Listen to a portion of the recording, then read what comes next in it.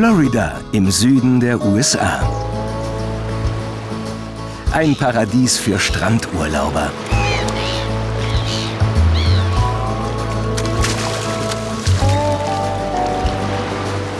Doch auch im Sunshine State wird es mal Winter. Das ist die Zeit der Manatis. Wenn es im Meer zu kalt wird, schwimmen sie die Flüsse hinauf. Dort gibt es warme Quellen, die sie anlocken.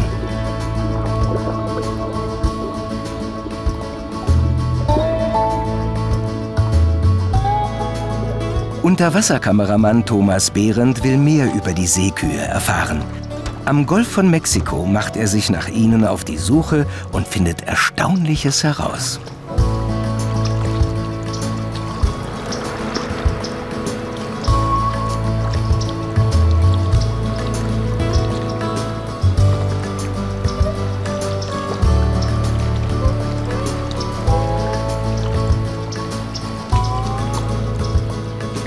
Es ist kalt geworden in Florida, unter 10 Grad Celsius. Selbst der Golf von Mexiko kühlt ab. Thomas Behrendt hofft deshalb, in einem der letzten naturbelassenen Flüsse der Region Manatis zu finden.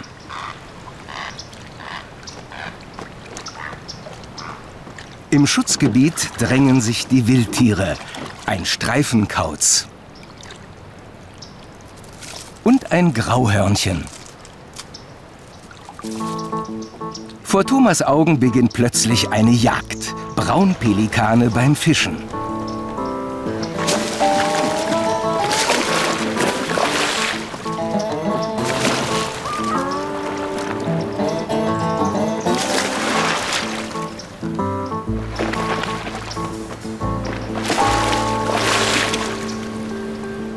Nachdem die Vögel durch Pestizide Mitte des letzten Jahrhunderts fast ausgerottet waren, haben strenge Schutzmaßnahmen dafür gesorgt, dass sie heute nicht mehr gefährdet sind.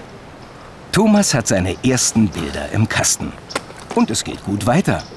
Eine Seekuh. Mein Gott, hab ich ein Glück, das gibt's doch gar nicht.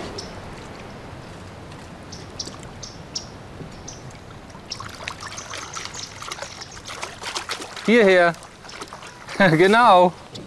Ja.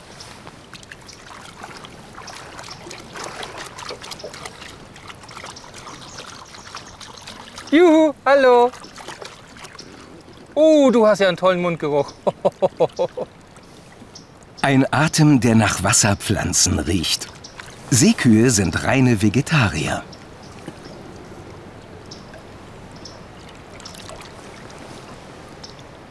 Sowas gibt es, glaube ich, nur hier. Ich habe das noch nirgendwo auf der Welt entdeckt oder erlebt, dass Meerestiere so nah an einen herankommen.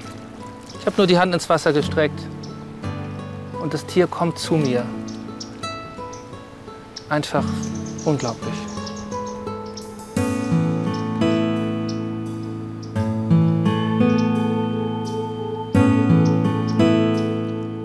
Seekuh ist auf dem Weg zu den warmen Quellen am Ursprung des Flusses. Nur dank solch natürlicher Heizungen können die Tiere so weit nördlich wie in Florida überleben. Sie brauchen eine Wassertemperatur von mindestens 20 Grad Celsius.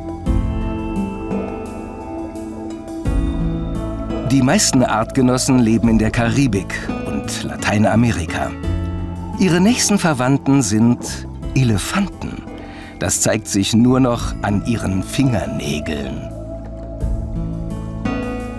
Angekommen am Quelltopf kann sich das Tier erst einmal ausruhen. Mit dem Wissenschaftler Bob Bondi will Thomas tauchen gehen. Bob kennt die Manatis wie kein anderer in Florida. Manatis sind doch eigentlich Meeressäuger, die im Ozean leben. Was machen die hier im Fluss? Sie sind ans Meer angepasst, aber sie fühlen sich auch hier wohl. Sie kommen in die Flüsse, um Süßwasser zu trinken, um im Warmen zu sein und um nach Futter zu suchen. Ich habe hier ein Satellitenbild vom Golf und der Gegend hier. Manatis können unglaubliche Entfernungen zurücklegen, von Floridas Nordwesten bis zur Südspitze. Sie schwimmen die Atlantikküste sogar bis nach Rhode Island bei New York hinauf.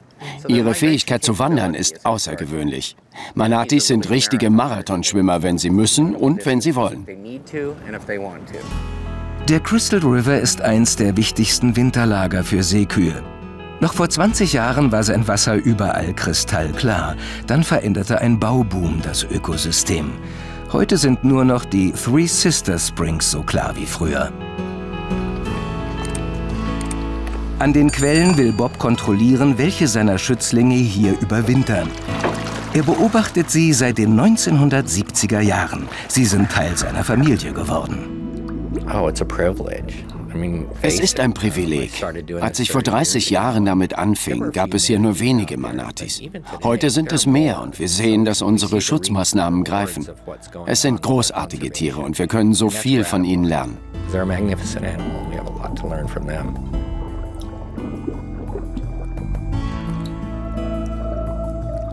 Bob erkennt jedes Tier am Aussehen. Immer dabei ein wasserfester Stift und eine Tafel.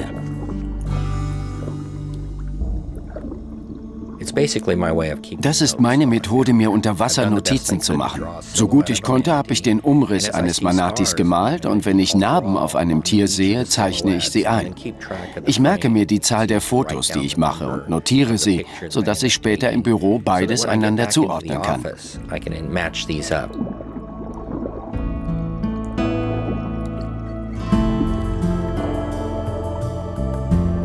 Auch nach über 30 Jahren ist sich der renommierte Forscher nicht zu schade, seine Daten selbst zu sammeln.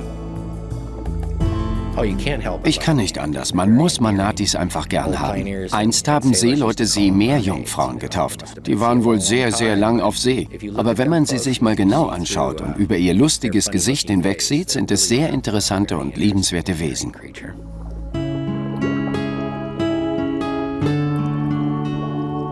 Bobs Notizen erzählen die Lebensgeschichte einzelner Manatis. Manche werden bis zu 50 Jahre alt.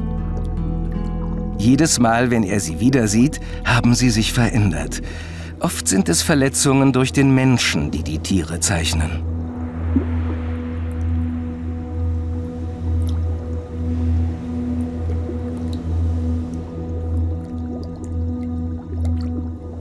Generally, Grundsätzlich ist kein Manati sicher verboten, mit denen es sich seinen Lebensraum teilt. Wie man sehen kann, haben viele Manatis, nicht alle, aber die meisten, Narben von Zusammenstößen. Im Crystal River Schutzgebiet gibt es deshalb Geschwindigkeitsbegrenzungen für Boote und Zonen, in die kein Mensch hinein darf.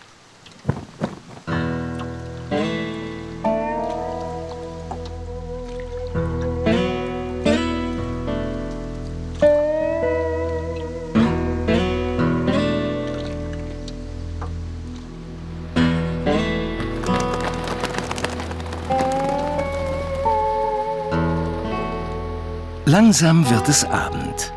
Thomas hat einen ganz besonderen Greifvogel entdeckt. Da oben ist ein Fischadler. Mit ein bisschen Glück geht er gleich auf Jagd. Dank scharfer Augen nimmt der Adler noch die kleinste Bewegung im Wasser wahr.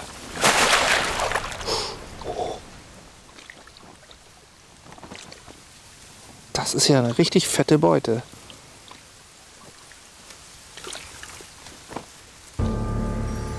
Ein Weißkopfseeadler. Er hat ein Auge auf den Fisch geworfen. Der amerikanische Wappenvogel ist fast doppelt so groß und kann dreimal so schwer werden wie der Fischadler. Er greift an. Er jagt seinen Gegner den Fluss hinauf. Oh,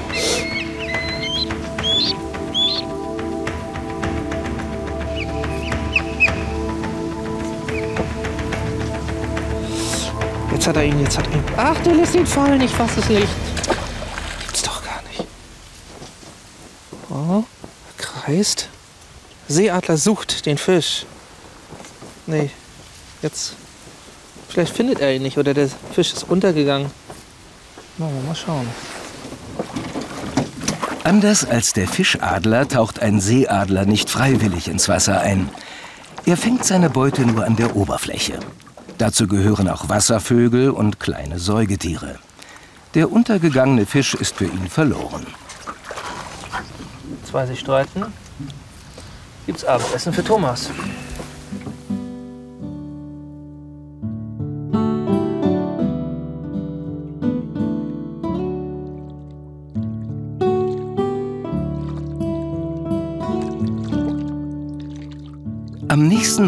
Erwartet eine Kolonie Waldstörche die Forscher. Das ist das Schöne daran. Das ganze Gebiet ist zwar zum Schutz der Manatis da, aber es bietet Lebensraum für alle möglichen Wildtiere. Es ist ein wundervoller Ort und es gibt viele. Hey, sieh mal, da sind Delfine. Sie kommen oft zum Fressen den Fluss hoch und ich wette, sie werden versuchen, die Fische ins flache Wasser zu treiben. Sind es zwei Delfine? Ja, zwei. Und da ist auch noch ein Pelikan. Ja, die Pelikane haben gelernt, dass man mit den Delfinen leicht an Fisch kommt, weil die Delfine für gewöhnlich immer Erfolg haben. Sie treiben die Fische ins Flachwasser und fangen sie mit Hilfe ihres Sonars. Die beiden Jäger haben einen Schwarm umzingelt. Er kann nur noch in Richtung Ufer ausweichen. Doch dort geht es nicht weiter.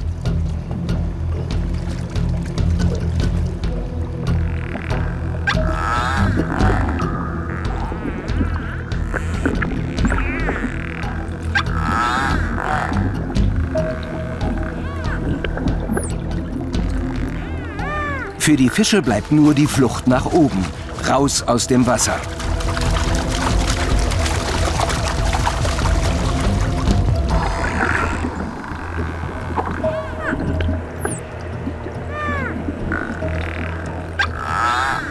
Jagderfolg für die Delfine.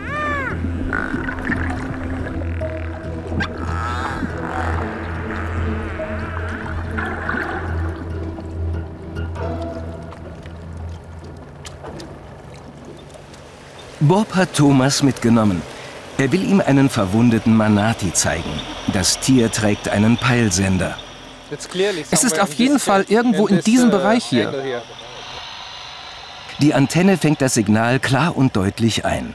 Mit Hilfe der Technik haben die Wissenschaftler auch herausgefunden, welche Zonen im Schutzgebiet für den Menschen komplett gesperrt werden mussten. Manatis haben feste Bewegungsmuster. Das konnten wir dank der Sender feststellen und so ihre Wanderungen verfolgen. Das ist sehr wichtig, denn sie benutzen die gleichen Wasserstraßen wie wir mit unseren Booten. Zusammenstöße sind da ein ernsthaftes Problem. Da ist der Eingang zur Schutzzone. Vielleicht finden wir hier den Manati. Oh da ist er.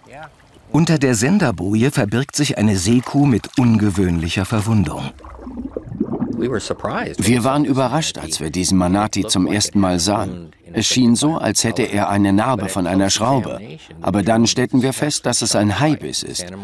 Das Tier wurde im Meer angegriffen, bevor es nach Crystal River kam. Allerdings gibt es kaum Hinweise darauf, dass Manatis von Haien oder Alligatoren erfolgreich erbeutet werden. Das kommt vor, aber es ist sehr selten, zum Glück für die Manatis.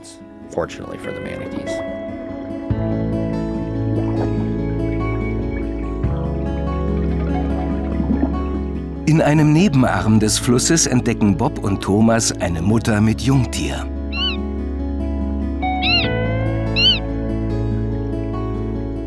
Im Winter können die Tiere nicht zu den reichen Nahrungsgründen ins Meer schwimmen. Nur tagsüber verlassen sie die warmen Quellen, um am Flussgrund zu grasen. Seekühe sind die einzigen Meeressäuger, die sich von Pflanzen ernähren. Sie fressen etwa acht Stunden am Tag. Dabei nehmen sie bis zu 10% ihres Körpergewichts zu sich. Bei großen Tieren sind das etwa 100 Kilo Grünzeug.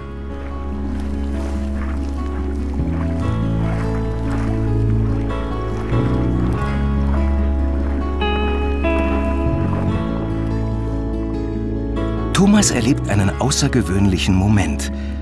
Das Jungtier schwimmt zu seiner Mutter, um zu säugen das ist natürlich eine der intimsten und, und wunderbarsten Situationen, äh, in, in die man sich überhaupt hineindenken kann. Das ist wirklich erstaunlich. Anders als die meisten Säugetiere haben Manatis ihre Zitzen unter den Achseln. Sogar ihr indianischer Name stammt wohl von dieser Eigenart. Manati heißt Brust. Das Kind wird einfach mitgeschleift, äh, egal ob die Mutter ist oder mit an die, an die Wasseroberfläche geht. Ich habe das eigentlich so nicht erwartet. Ich habe gedacht, sie lässt sich absinken und das Kind kann dann in Ruhe trinken. Aber so ist das eben. Das Leben geht weiter und äh, das Kind muss mit. Mit einem Kind am Rockzipfel ist das Fressen schwieriger. Alle 8 bis 15 Minuten muss die Seekuh zum Atmen auftauchen. Sie kann längst nicht so viel Sauerstoff in ihren Muskeln speichern wie Robben oder Delfine.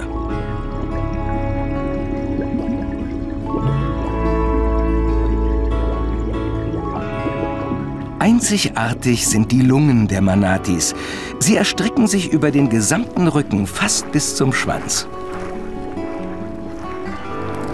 In einem Zug hat das Junge den gesamten Vorrat leer getrunken. Erst wenn die Mutter neue Milch produziert hat, wird es wiederkommen. Bis dahin geht es auf Entdeckungstour. Nur ein paar Meter weiter ein Manati in Not. Das Tier ist unterkühlt. Eine lebensbedrohliche Situation. Eine Rettungseinheit von Behörden und Schutzorganisationen ist alarmiert. Sie soll das Tier bergen und in ein Manati-Krankenhaus bringen. Der Wissenschaftler Andrew Garrett hat das Kommando. Eine Kollegin hat das Tier entdeckt und berichtet, dass es ausgehungert und unterkühlt aussieht. Darum müssen wir es einfangen und medizinisch versorgen. Also es ist fürchterlich kalt hier erstmal und die Tiere sind ja offensichtlich sehr empfindlich. Und äh, ich hoffe, dass wir das Tier möglichst schnell rausbekommen. Ähm, weil wenn, das, wenn, das, wenn wir das jetzt nicht schaffen, dann wird es wahrscheinlich sterben. Schon bald erreicht das Team die Bojen der Schutzzone. Die Schwierigkeit ist, das Netz an Bord zu ziehen, ohne dass der Manati entwischt. Es soll ein kleineres Tier sein. Trotzdem ist es mühsam, eine wilde Seekuh zu fangen. Doch erst einmal müssen die Retter den Manati wiederfinden. Die Wissenschaftlerin Monica Ross sucht nahe der warmen Quelle im Wasser. Mehrere Tiere haben hier Zuflucht gesucht.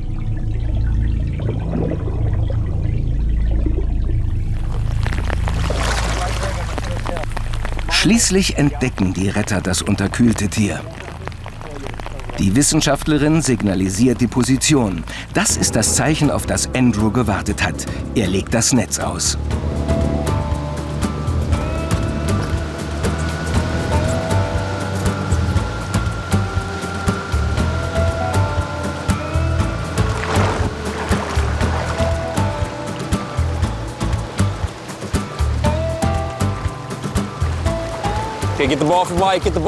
Der kranke Manati ist umzingelt.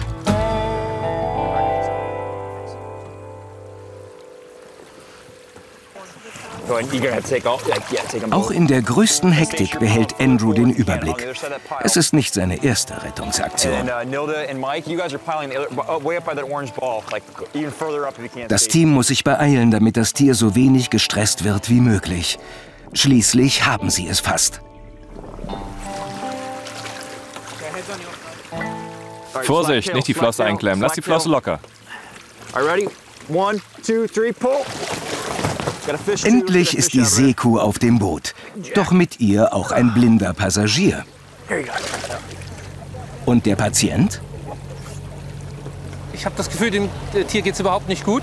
Es liegt richtig apathisch auf dem Boot und hat sich überhaupt gar nicht gewehrt. Man hätte ja irgendwie gedacht, dass das jetzt irgendwie, ja, irgendwie rumflippt. Und äh, na, ich ich weiß es nicht genau, aber es sieht nicht gut aus. One, two, three. Das Tier muss schnellstens raus aus der Kälte. Der Weg ist weit. Die Fahrt mit dem Rettungswagen zum nächsten Manati-Krankenhaus dauert eine Stunde. Die Klinik im Lowry Park Zoo von Tampa ist eine von drei Auffangstationen für Seekühe in Florida. Das erschöpfte Tier ist ein Weibchen.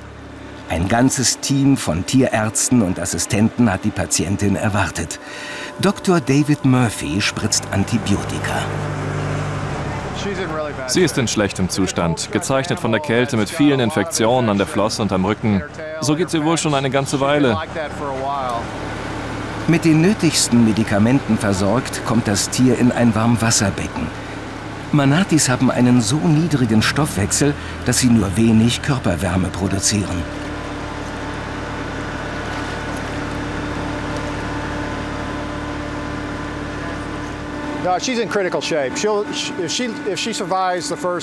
Ihr Zustand ist kritisch. Wenn sie die ersten zwei Tage überlebt, hat sie vielleicht eine Chance. Aber momentan ist sie wirklich am Ende ihrer Kräfte und könnte uns ganz leicht in den nächsten 30 Minuten oder bis morgen früh wegsterben. Kaum im Becken gibt die Seekuh jedoch Grund zur Hoffnung. Sie beginnt zu fressen und Dr. Murphy tauft sie Thomas zu Ehren auf den Namen Fräulein. Ich freue mich freue mich richtig, dass es jetzt hier äh, im warmen Pool ist, sich ein bisschen aufwärmen kann und äh, das wird sicherlich die Überlebenschancen deutlich steigern. Mit Glück wird Fräulein durchkommen.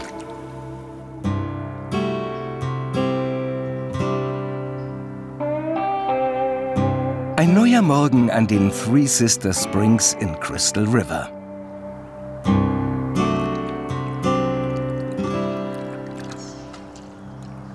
Noch schlafen die Manatis völlig ungestört. Das soll sich bald ändern.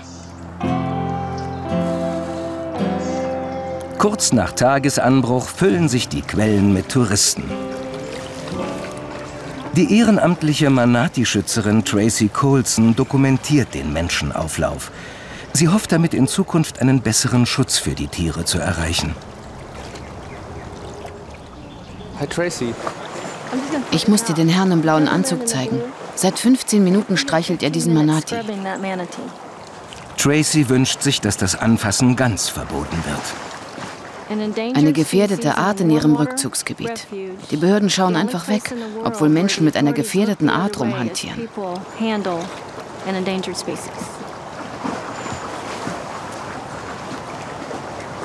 I feel very es macht mich wütend, dass die Manatis das ertragen müssen. Sie kuscheln sich hier zusammen, versuchen sich warm zu halten, auszuruhen und Energie zu sparen. Und dann kommt jeden Tag diese Invasion von Schwimmern, die keine Ahnung haben, was sie den Tieren damit antun. Sie blockieren sogar den Zugang zu den Quellen. Diese Mutter mit Kalb kehrt deshalb um und bleibt in kälterem Wasser. Das sind einfach zu viele Leute. Thomas ist schockiert.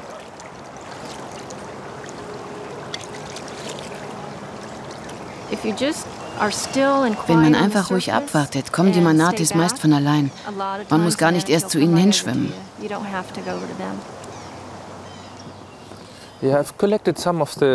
Wir haben uns dein Videomaterial angesehen. Es wäre toll, wenn du etwas dazu sagen könntest. Wenn man ein Manati so wie diese Person hier unter der Flosse kitzelt und es anfängt herumzurollen, dann denken die Leute offensichtlich, es würde gern gekrault werden. Aber ist das wirklich so? Oft rollen sie herum, um jemanden abzuschütteln. Das ist ihre einzige Möglichkeit, einer Berührung zu entgehen. Man kann das bei Weibchen beobachten, wenn sie verwaiste Kälber abschütteln, die säugen wollen. Dann drehen sie sich auf den Rücken oder machen eine Schraube nach der anderen, um das fremde Junge fernzuhalten. Und hier sieht man eine Schwimmerin, die den Manati dauernd reibt und kratzt. Das Tier dreht sich fortwährend. Sie denkt wahrscheinlich, es mag das und möchte seinen Bauch gekrault bekommen. Aber es versucht einfach nur, die Person loszuwerden.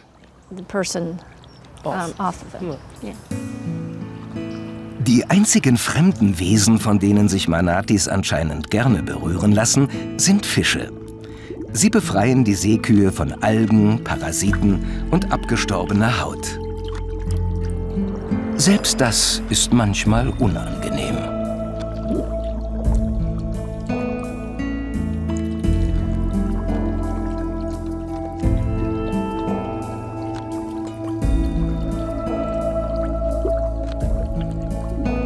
Nicht nur Sonnenbarsche nutzen die Manatis als Nahrungsquelle, auch Meereschen schauen gelegentlich vorbei.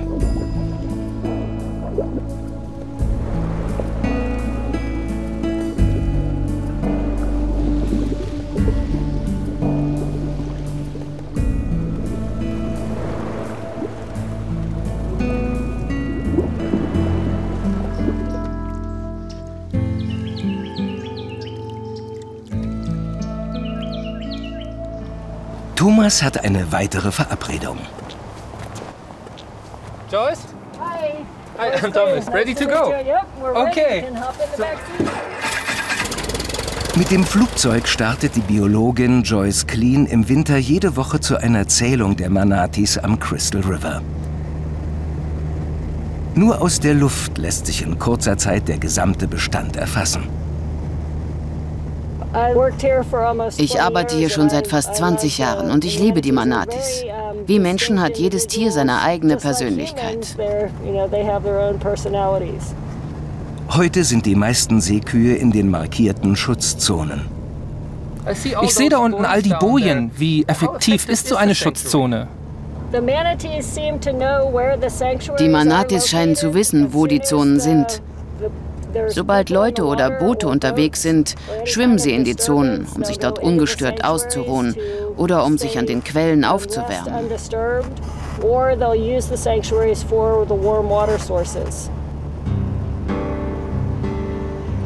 Im Winter 2010 zählen Wissenschaftler in ganz Florida etwa 5000 Manatis, ein Rekord. Das liegt an den ungewöhnlich kalten Temperaturen. So sind mehr Tiere als sonst in die wärmeren Flüsse gekommen. Einige hundert haben sich an einer künstlichen Wärmequelle versammelt. Dies ist der Kühlwasserkanal des Kraftwerks. Das erwärmte Wasser wird hier eingeleitet und die Manatis kommen und nutzen es zu ihrem Vorteil. Hier ist eine Mutter mit ihrem Baby. Der Kanal ist Schutzgebiet. Doch in Zukunft sollen in den USA modernere Kraftwerke die Umwelt mit weniger Warmwasser beeinträchtigen. Die Manatis sind inzwischen abhängig von solchen künstlichen Warmwasserquellen. Wenn man das Kraftwerk jetzt abschalten und diese 200 bis 500 Tiere ins kalte Wasser schicken würde, wäre die Zahl der Toten enorm. Es gab solche Fälle. Dabei haben wir die Tiere sozusagen vor unserer Tür erfrieren lassen, weil sie der Kälte ausgesetzt waren. Gäbe es denn genug natürlichen Lebensraum für die Manatis? Wir denken, es gibt mehr, als bis jetzt genutzt wird. Deshalb hoffen wir, dass die Tiere voneinander lernen. Anstatt ein Kraftwerk mitten im Winter abzuschalten, wenn die Tiere das warme Wasser brauchen, könnte man das lieber früher machen. So könnten einige Mütter ihren Kälbern den Weg zu anderen Quellen zeigen. Das wird nicht alle retten, aber immerhin ein paar.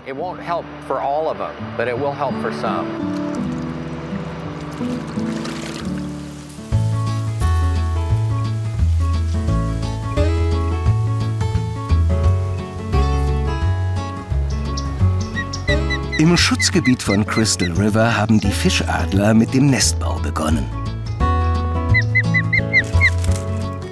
Das Paar ist schon im zweiten Jahr hier. Beim letzten Mal ist ihnen das Nest noch vor der Brut abgestürzt. Diesmal soll das nicht passieren. Mit aller Sorgfalt platzieren sie die Äste. Das Material wird nicht vom Boden gesammelt, sondern frisch gepflückt.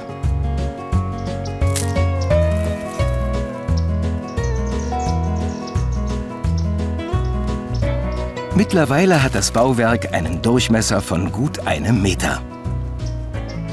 Fehlt nur noch ein bisschen Polstermaterial.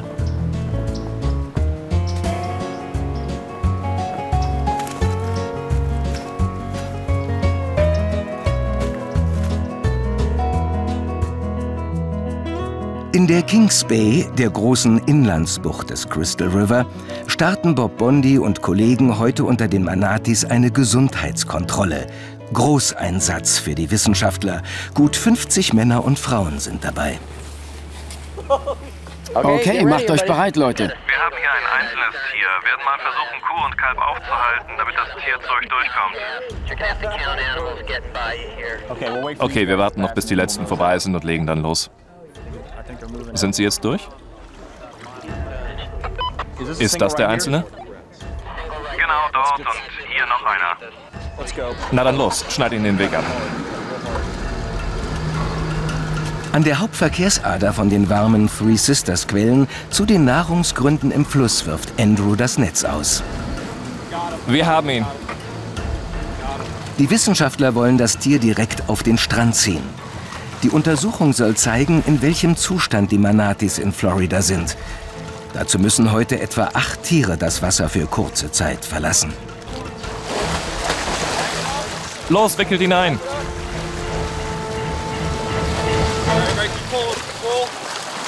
Ein großes Tier kann bis zu 1500 Kilo wiegen und hat viel Kraft.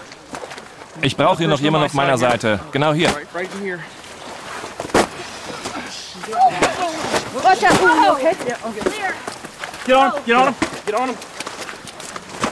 Wichtig ist nun, dass das Tier weiter atmet. Das Team muss regelmäßig den Atemreflex mit Wasser auslösen. Atmet es? Ja. Gut, lass uns 15 Sekunden warten, dann machen wir das nochmal. Lasst ihn sich etwas ausruhen, bevor wir weitermachen.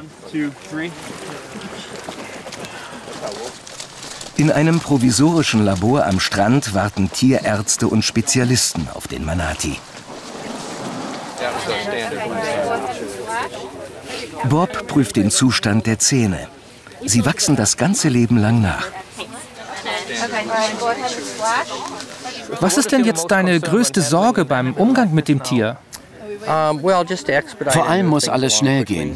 Das hier ist ein gesundes junges Weibchen. Es hat ein paar Pilzschäden und kleinere Wunden von Schiffsschrauben, die sehr gut verheilen.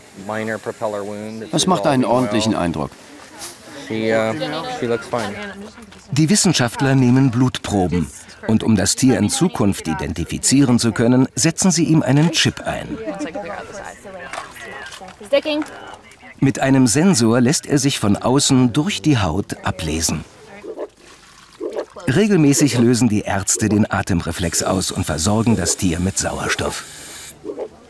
Bob hat eine Hautprobe für genetische Untersuchungen genommen.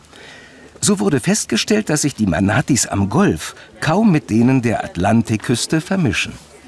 Also ich bin ziemlich beeindruckt, wie viele Gedanken man sich hier gemacht hat, äh, dass es den Tieren wirklich gut geht und äh, wie professionell das alles organisiert worden ist. Denn das, der ganze Ablauf ist hier wirklich total durchgetaktet und ähm, man hat den Eindruck, hier wird sehr viel Sorgfalt darauf gelegt, dass die Tiere möglichst ganz kurz nur diesen Untersuchungen ausgesetzt sind und dann gleich wieder in die Freiheit können. Nach einer guten halben Stunde hat das Tier die Untersuchung überstanden. Der Stress hinterlässt keine Schäden, nützt aber dem Schutz der Tiere in ganz Florida.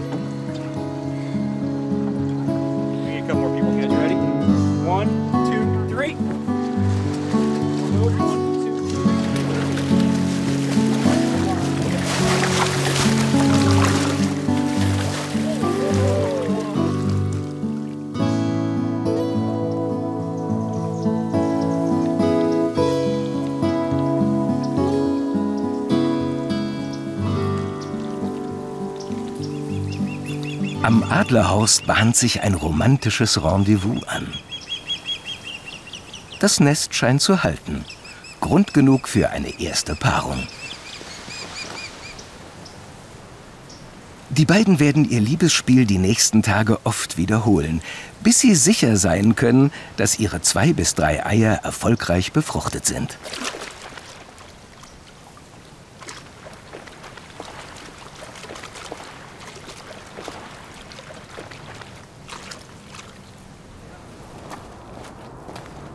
Bob und Thomas sind zum Hauptquartier der Wissenschaftler nach Gainesville gefahren, um die Proben der Gesundheitsuntersuchung und die Fotos auszuwerten. Hi Kathy, wir sind zurück aus Crystal River. Gut. Wie lief es? Gab es viele Tiere? Oh, sie waren überall. Gute, klare Bedingungen. Warum ist das Fotografieren so wichtig? Wenn wir Tiere in verschiedenen Teilen des Staates oder auch außerhalb fotografieren, sehen wir, wie weit sie wandern können. Und wir erfahren vielleicht, warum sie wandern. Wir haben einige Langstreckenzüge dokumentieren können, nur weil wir sie anhand der Narben erkennen konnten. Mhm. Gerade die hunderte Kilometer langen Wanderungen entlang der Küste führen oft zu Verletzungen durch Boote. Two of Diamonds ist eins unserer sehr alten Weibchen. Ein Teil ihrer Schwanzflosse wurde von einer Schiffsschraube abgeschnitten. Insgesamt konnten wir bei ihr 18 verschiedene Narbenmuster dokumentieren. Heißt das, sie wurde 18 Mal von einem Boot überfahren? Ja, sie wurde 18 Mal verwundet, mindestens. Schon bald werden die Unfälle wieder zunehmen. Denn im Frühjahr wird es wärmer. Und die Manatis machen zum Fressen immer häufiger Tagesausflüge in die Flussmündung. Thomas versucht ihnen zu folgen.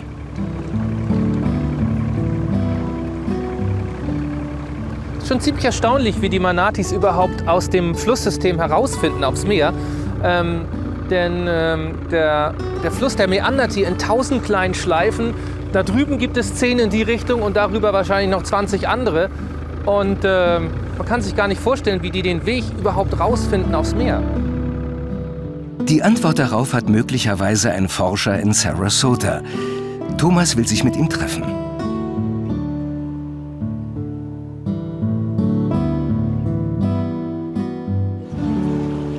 Im Meereslabor von Mood forschen Wissenschaftler zum Schutz vieler Meerestiere. Hier leben die weltweit einzigen Manatis, deren Verhalten in Tests untersucht wird. Yu und Buffett wurden einst in einem Vergnügungspark geboren. Heute sind sie mehr als 20 Jahre alt. Immer wenn Buffett eine künstlich erzeugte Strömung im Wasser wahrnimmt, soll er das Pedal anstoßen. Bei korrekter Wahrnehmung gibt es Futter, sonst nicht.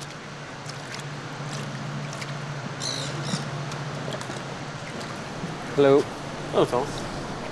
Joe Gespar und sein Team wollen mit den Experimenten herausfinden, wie präzise Manatis auch die kleinste Bewegung im Wasser orten können. Das Geheimnis steckt in den Haaren, die die Manatis am ganzen Körper haben. All diese Haare haben besondere Rezeptoren, die Bewegungen wahrnehmen können. Wir denken, das funktioniert ähnlich wie beim Seitenlinienorgan der Fische. Sie spüren so Strömungen und Objekte in ihrer Nähe. Könnten Sie mit diesen Haaren auch ein näherkommendes Motorboot bemerken? Ich denke, das ist eher eine Navigationshilfe, auch unter Artgenossen. Es wäre schwierig, damit Motorboote zu orten. Dazu müssten sie schon sehr nah sein. Und dann wäre es längst zu spät zum Ausweichen. Sie wirken so langsam und einfältig. Sind sie wirklich so? Hm, das denken viele Leute.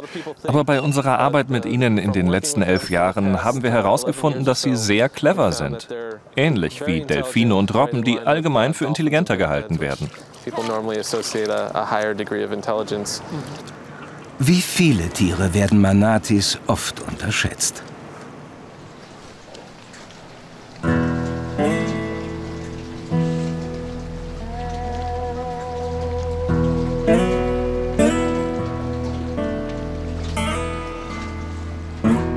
Das Fischadlerpärchen erwacht wie immer hungrig. Es ist ein guter Tag zum Fischen.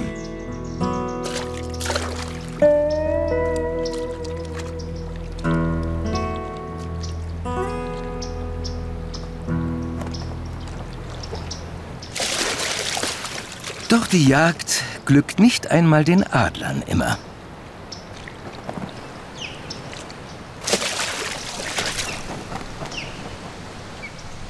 Wenn tatsächlich einer Beute macht, gibt es stets Nachbarn, die sie ihm abjagen wollen. Diesmal hat das Männchen Glück und der Rivale das Nachsehen. Es bringt den Hornhecht heil nach Hause.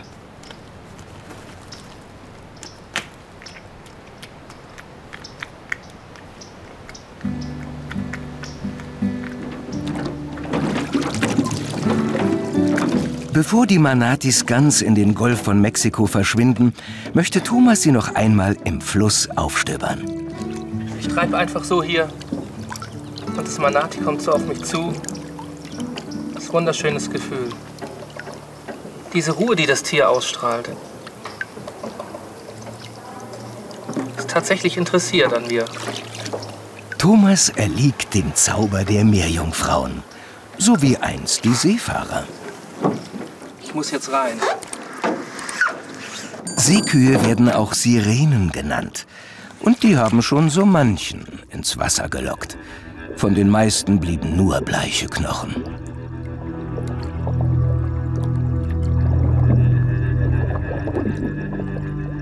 Kaum dass Thomas im Wasser ist, macht sich das Wesen aus dem Staub. Was hat es vor?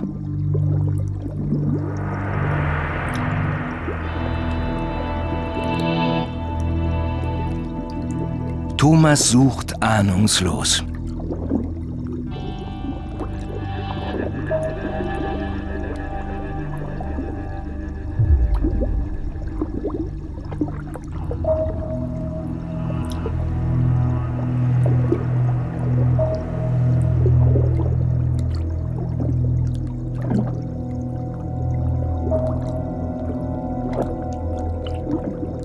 Thomas von hinten zu überraschen, erscheint dem Tier wohl sicherer. Ganz plötzlich kommt da dieser große Schatten in mein Gesichtsfeld. Da habe ich schon gedacht, was ist das denn?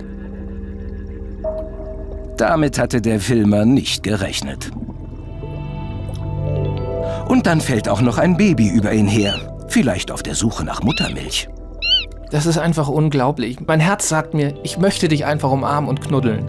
Und der Verstand sagt, nein, das geht nicht. Das ist ganz klar die emotionalste Erfahrung, die ich hier in den letzten Tagen gemacht habe. Ein einmaliges Erlebnis. Ich bin echt begeistert, was ich für, für tolle Aufnahmen bekommen habe. Ähm, so ein bisschen zwiegespalten bin ich, ganz ehrlich gesagt, was, was den Schutz der Manatis angeht. Ähm, auf der einen Seite möchte ich natürlich, dass all die Menschen die Manatis kennenlernen und lieben lernen und damit helfen, auch sie langfristig zu schützen. Aber auf der anderen Seite ist es natürlich so, äh, dass wir einen Weg finden müssen, dass man nicht zu nah an die Tiere rankommt. Sie fordern einen ja äh, regelrecht heraus mit ihren oder mit den Emotionen, die sich schnell aufbauen. Und das wird, glaube ich, die große Herausforderung sein in der Zukunft, diesen richtigen Weg zu finden. Das wird nicht einfach sein. Nach Thomas Dreharbeiten explodiert im Golf die Ölplattform Deepwater Horizon. 20 mal mehr Öl läuft aus als bei der Exxon Valdez-Katastrophe in Alaska. Niemand weiß, welche Wirkung das langfristig auf die Manatis haben wird. Im Manati-Krankenhaus erholt sich die Patientin Fräulein immer noch von der Kälte. Sie scheint eine Kämpfernatur zu sein. Ich denke, wir müssen abwarten, ob sie einen Teil ihrer Flossen oder des Schwanzes verlieren wird wegen der schweren Kälteschäden. Das werden wir sehen. Ein anderes Tier soll heute zurück in die Freiheit. Baby Coral. Sie hatte nicht genug Zeit, zurück ins warme Wasser zu schwimmen, als es richtig kalt wurde. Wir wussten, wo sie steckte, weil sie einen Sender hatte. Wir dachten, dass sie sehr wahrscheinlich sterben würde, bevor sie die warmen Quellen erreicht. Also sind wir los und haben sie gerettet. Insgesamt hat der harte Winter 2010 in Florida mehr als 430 Manatis das Leben gekostet. So viele wie noch nie in einem ganzen Jahr.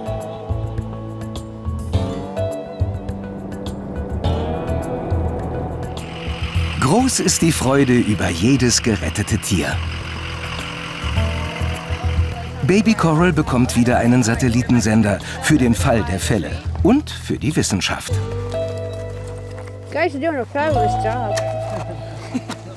In der Klinik hat das Weibchen gut 130 Kilo zugelegt und wiegt nun mehr als 400 Kilo. Ich glaube, die freut sich richtig. Ganz ruhig, gleitet sie in ihr Element. Schön. Joyce, I got it.